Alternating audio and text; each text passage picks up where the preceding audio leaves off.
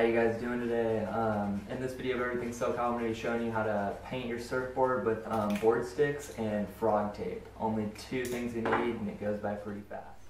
Alright, so as you guys can see we have all our material set up. I did this red portion before along with this green, blue, and red section as well. And what we're going to be working with right now is going to be this little blue section right here. I want it to come out like this guy. And um, we'll peel off the red tape, I'll show you how to remove the tape, and then we'll get forward with how you um, actually put this paint on. Alright, so now that I got that frog tape off, you can see what we're going to be working with a little bit better. So what I'm going to want to do is tape over this little black line that Firewire puts on that on their nano board, and then over these black lines that I put as well, really make a tight barrier around the um, area you want to paint. And then you can actually see I did this before, and the paint, it's been about a year and the paint's finally just coming off, so I'm going to do a fresh coat. A little bit of wax and salt water helps the um, paint come off a little bit faster too, so just make sure you let it dry and let's go for this next round.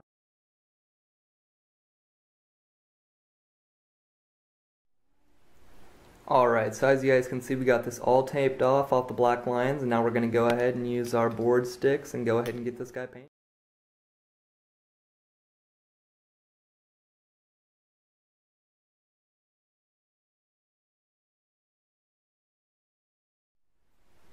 Alright, I'll let you guys be the judge. Um, I just got this on here. Looks great, came out a nice even coat. gonna go ahead and let it dry for about 20-25 minutes and then we'll be right back to peel the paint off. Once again, these are BoardStix. I highly recommend them, guys. I mean, they're really cheap. They come in a variety of different colors um, and they start at $7.99, I think. $6.99, perfect. Yeah, so I mean, it's super affordable and if you really want to do something cool with your board unique to make it different than your friends, then I would definitely recommend checking this out. Alright, so we're back, and the main things you want to check when you're going to remove this tape is to just lightly tap your fingers around, make sure there's no sticky spots. You can actually see visually, I'm not sure if it'll come up in the camera, it'll look a little bit darker almost where it's a little wetter. But I believe we should be good to remove.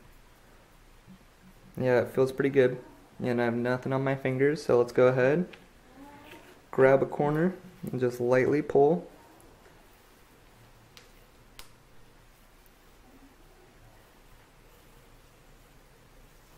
Should come off fairly easily.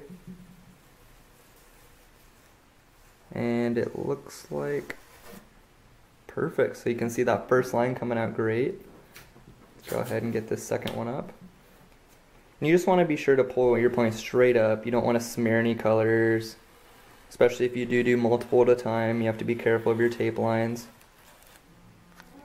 Then we'll come over here and do this last one. Let's actually slide go straight up with this guy.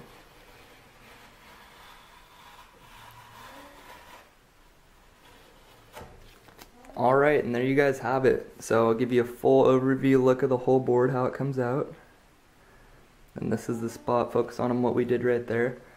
You can see that some colors come out a little bit better than others, such as the blue and the red, and the green kind of does leave a liney, weird, almost still wet looking mark, even though it has been dry for about three, four hours.